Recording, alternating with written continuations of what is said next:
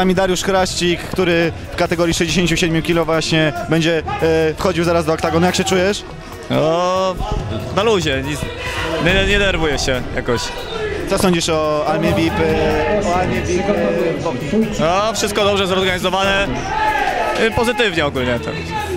Która to jest twoja walka amatorska?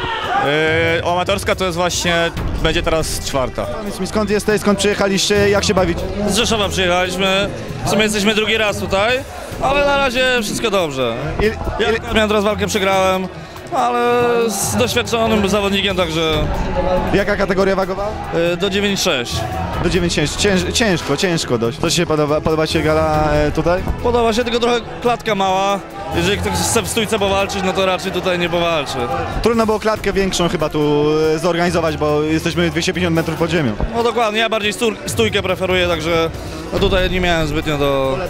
Dokładnie, no. No dobra, no nic, lecimy dalej. Pozdrowienia, dziękuję. No pozdrawiam wszystkich chłopaków z Rzeszowa i wszystkich kibiców Resowi. Jeszcze.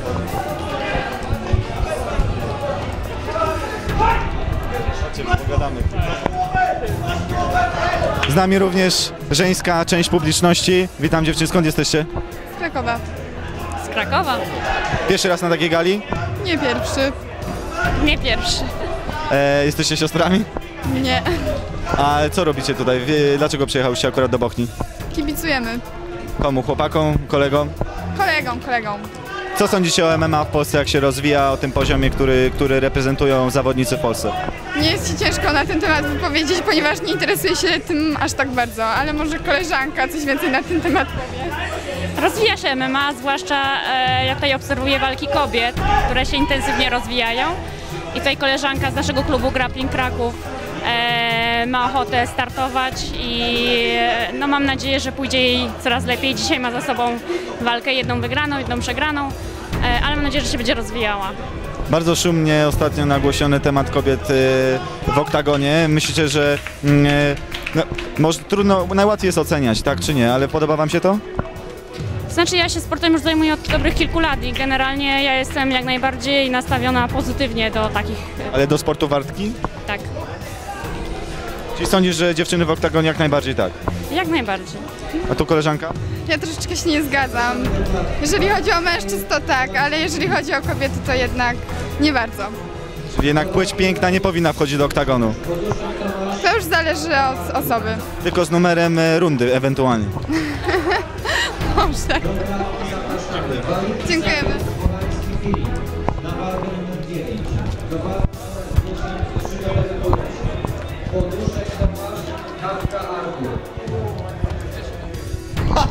No i mamy was, nakryliśmy. E, Z nami Piotr Wruber, organizator e, gali Koloseum. Witaj Piotrze. Michał, cześć, dzień dobry, witam serdecznie. E, Co sądzisz o gali? Podoba ci się? Zrobiliście to specjalnie, tak? Co sądzę o gali? No to jest super impreza. Nie mogę nic więcej powiedzieć, bo jest super impreza, naprawdę fajnie, Poziom walk podoba ci się? świetnie, naprawdę. Oglądałem wiele walk i wielu chłopaków u nas zawalczy. Tu to naprawdę niektórzy duże perełki, że się tak wyrażę. E, Pytam o poziom walk, dlatego że organizujesz sam e, galę walk, Koloseum, e, ostatnio w Krośnie, teraz kolejna w Szczytnie. 14 lipca zapraszam wszystkich serdecznie i myślę, że tak dopiszą jak, jak tutaj yy, u, u, Tomka w Bochni. No, co mogę więcej powiedzieć?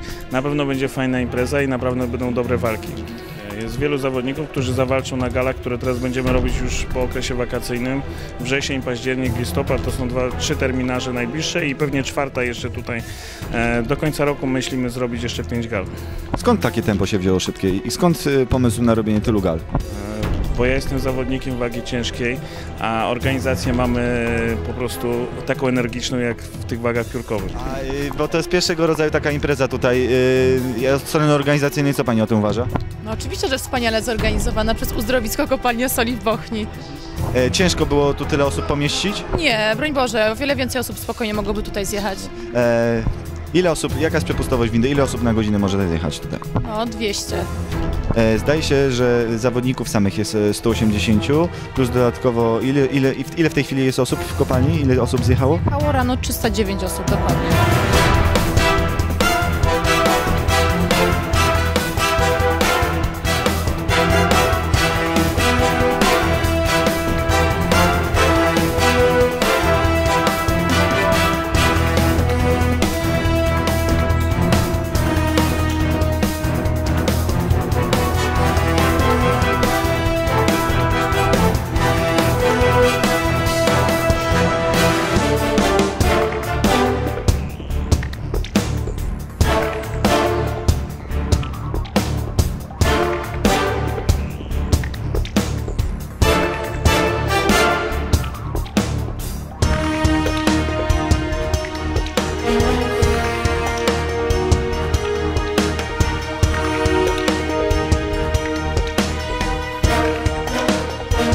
Z nami Remigiusz Florkowski z Bytomia, walczył y, w kategorii 63 kg w juniorach. Witaj e, Remigiuszu, Dzień dobry.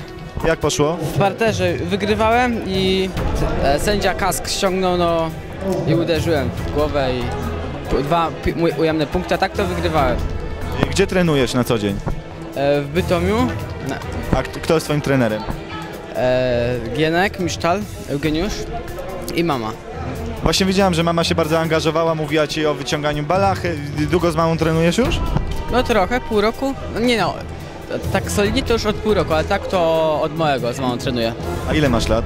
E, 16.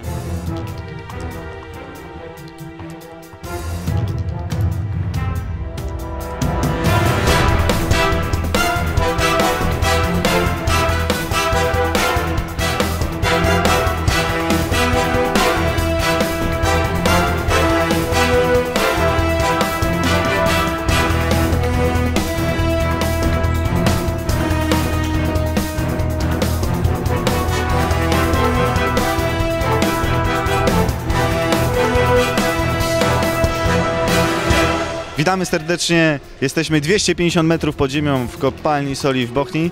E, z nami jest gość honorowy gali, Tomasz Drwal. Witaj Tomku. Witaj Michale. Tomku, co sądzisz o przeprowadzaniu zawodów w takich miejscach jak tutaj kopalnia soli?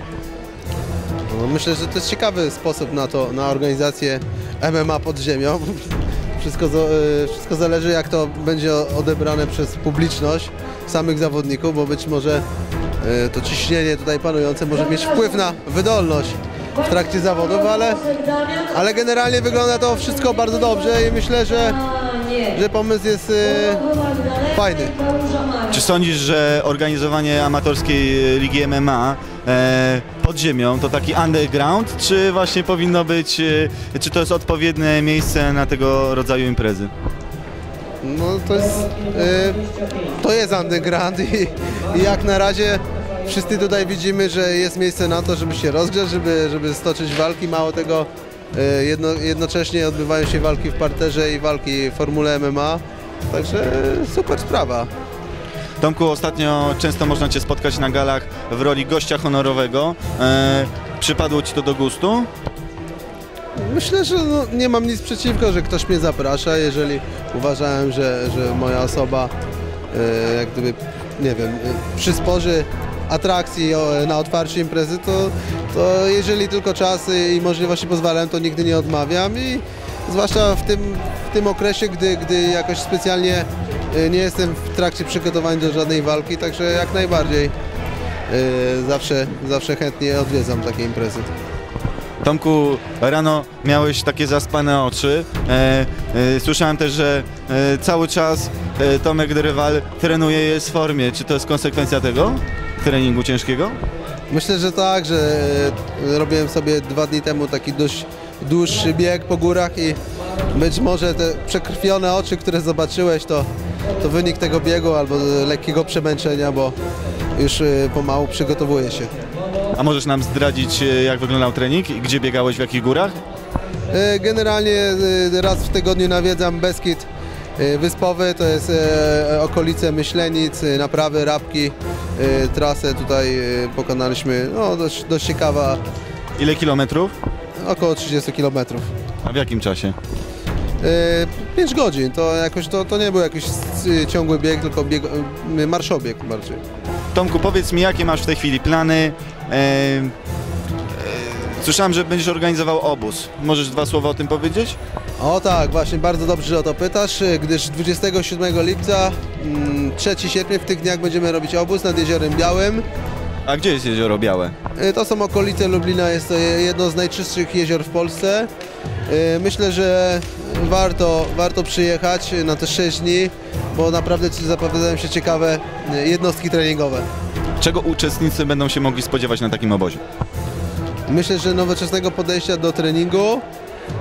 Yy, będziemy skupiać się na technice, ale też na kondycji i tutaj troszeczkę wyjdziemy z sali w plener i wykorzystamy ładną pogodę, wykorzystamy wodę, wykorzystamy las, także będzie troszkę taki yy, back to the nature.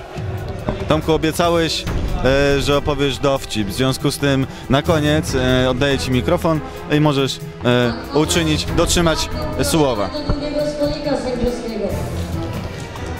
Siedzą dwie słowy na drzewie i jedna mówi pocałuj mnie. Nie, no nie mogę takiego.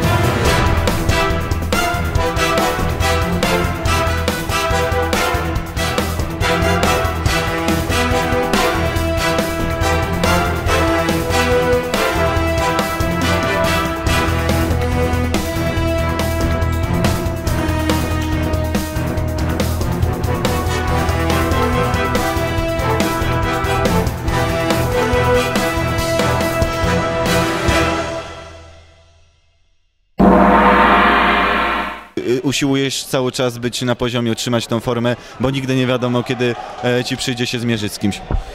Y, Raz, że zawsze chcę być w jakiejś y, formie, podtrzymywać jakąś formę, a dwa, przygotowuję się pod konkretną osobę, mianowicie Michał Rogo Rogoziński, który obiecał mi, że stoczy ze mną ten pojedynek i jak kiedyś zobaczyłem go w szatni, jak się przebierał i tą jego sześć, y, sześciopak, przepraszam, dwunastopak na brzuchu, stwierdziłem, że, że muszę się przygotować tak jak Michał, żeby z nim stoczyć ten bój. I Michał, mam nadzieję, że teraz już się nie wymigasz, bo mamy to i podejmiesz rękawice. Ale oczywiście mamy to, ale to wytniemy